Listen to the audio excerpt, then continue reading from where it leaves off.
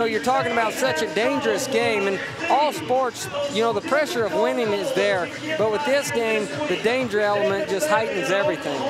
Let's now watch our final two. This is Guilherme Marchi. This is the guy that's closest to Justin McBride. He started the night 1,561 points behind. He's ridden four out of six so far. He came into the night in fourth place. Right now, he's in sixth. He needs to ride this bull if he wants to keep his hope of taking that buckle away from McBride. And I want to point out that Jody Newberry's hope is still there because he's number four, even bucking off, number four in the aggregate. He's going to come back to championship round.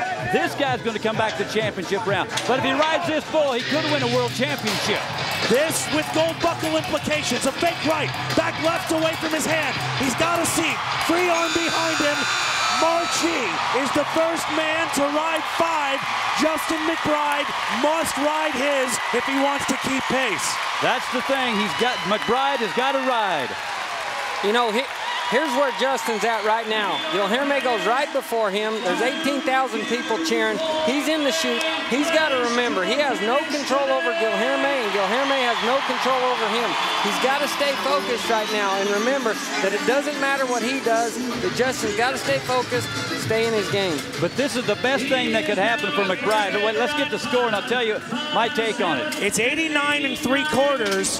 That gives him a five bull total of 435 points. It also puts Marchi in fifth place in the go round. That'll give him some more go round points to add to his average points. He leads the average, but here's the deal about McBride he's got to go for it now. If this guy would have bucked off and Newberry bucked off, you know, he would have been more apt to be stiff, clamped down, and where he just had to ride.